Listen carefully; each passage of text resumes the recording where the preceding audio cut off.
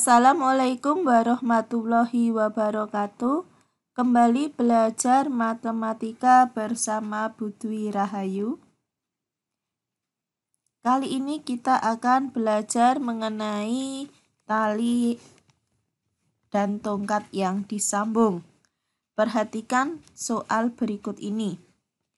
Adi mempunyai tiga buah tongkat dengan panjang 0,36 dekameter, 4,2 meter, dan 27 desimeter. Ketiga tongkat tersebut disambung dengan cara dihimpitkan ujungnya. Panjang ujung tongkat yang dihimpitkan adalah 30 cm. Panjang tongkat adi setelah disambung adalah Perhatikan ini panjang tongkat yang pertama 0,36 dekameter diubah menjadi meter. Karena di sini pilihan akhir, pilihan jawaban menggunakan meter. Kemudian tongkat yang kedua karena sudah meter tetap 4,2 meter Kemudian tongkat yang ketiga 27 desimeter itu sama dengan 2,7 meter. Nah ini ujungnya kita himpitkan seperti ini. Kita ikat. Nah ada dua himpitan di sini ya. Ini ada dua himpitan. Nah sehingga ini seolah-olah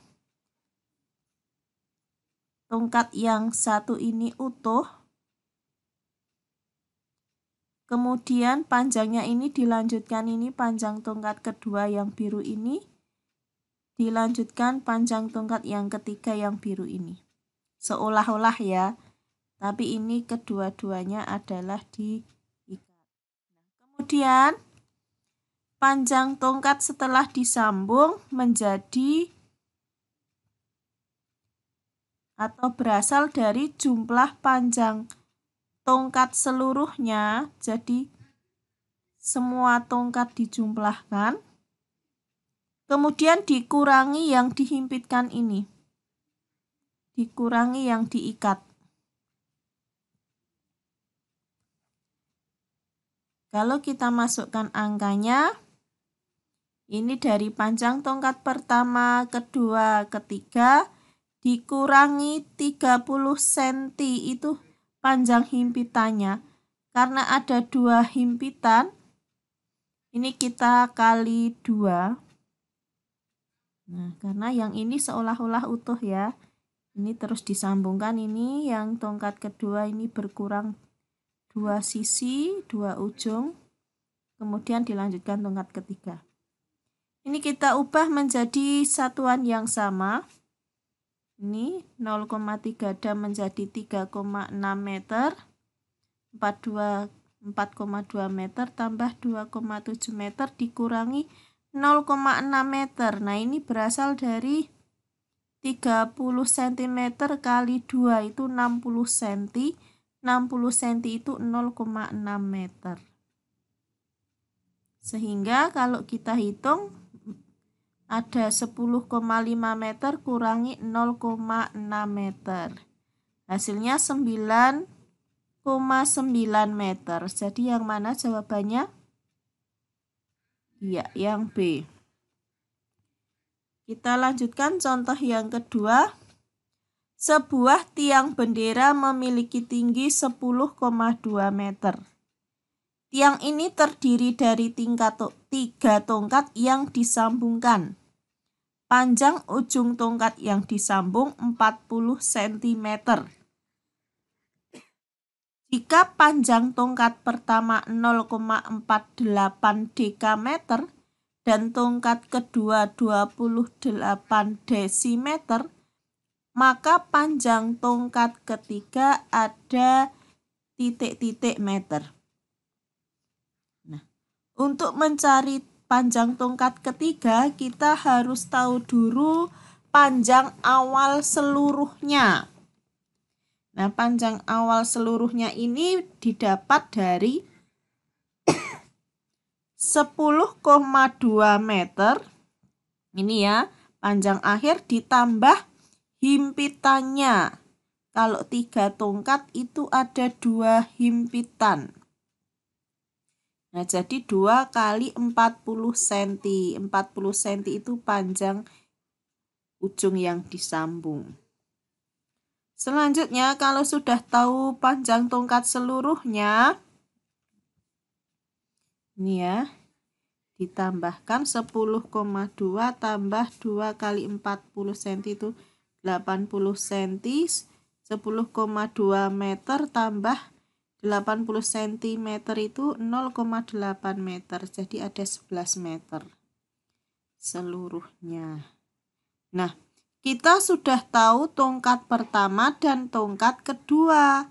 Maka berapa tongkat yang ketiga? Nah, tongkat yang ketiga ini berasal dari panjang seluruhnya dikurangi jumlah panjang tongkat pertama dan tongkat kedua. Panjang seluruhnya 11 meter dikurangi tongkat pertama itu 0,48 dam tambah 28 desimeter. Karena di sini pilihannya meter, kita ubah menjadi meter. 11 meter terus kurangi 4,8 meter juga dikurangi lagi atau jumlah jum, atau pengurangan dari jumlah kedua tongkat ya 4,8 meter tambah 2,8 meter. Sehingga 11 meter dikurangi 7,6 meter. Jadi tongkat ketiga panjangnya 3,4 meter. Selanjutnya kita akan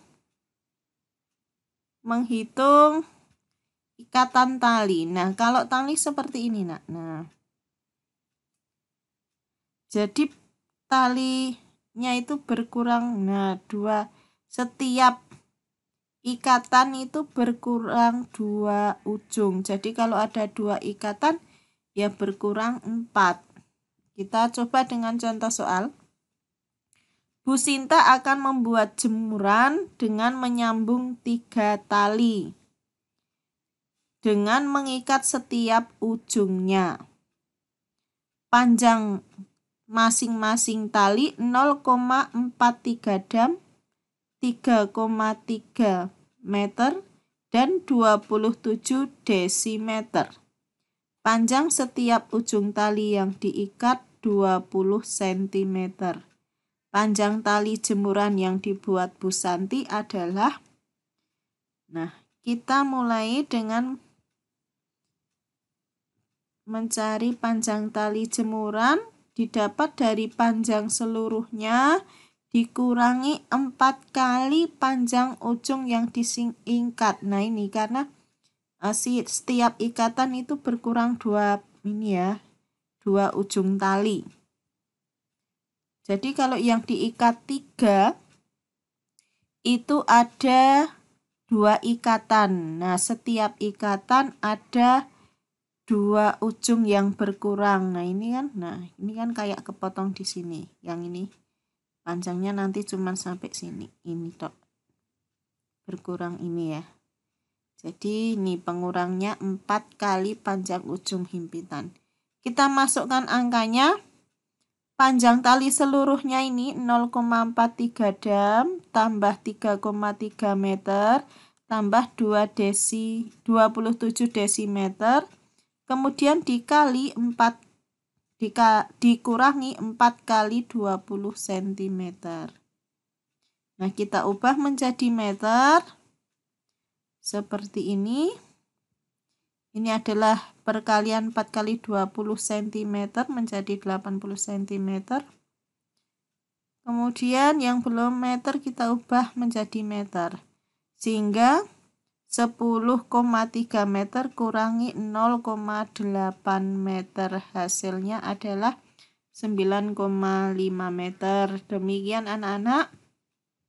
Untuk menyambung tali dan tongkat. Nah Ingat kalau tongkat uh, walaupun dua ujung dihimpitkan tapi yang dihitung berkurang hanya satu ujung sehingga kalau tiga tongkat disambung maka pengurangannya hanya dua kali himpitan panjang himpitannya sedangkan kalau tali setiap ujung talinya itu di luar panjangnya atau hilang karena dia merupakan sisa dari ikatan seperti ini.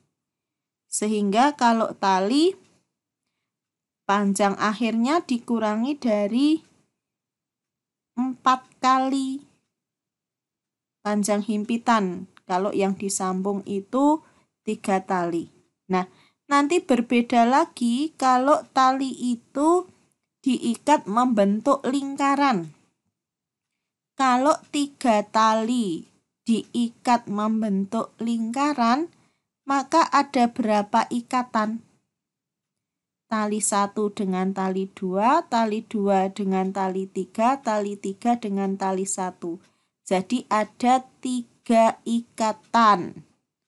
Sehingga nanti panjang akhirnya dari panjang seluruhnya dikurangi enam kali ikat panjang ikatannya karena setiap ikatan ada dua ujung yang terbuang.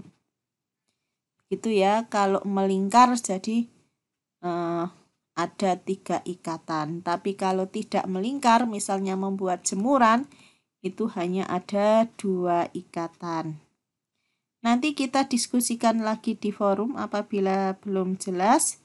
Saat ini terima kasih atas perhatiannya Ibu akhiri wassalamualaikum warahmatullahi wabarakatuh.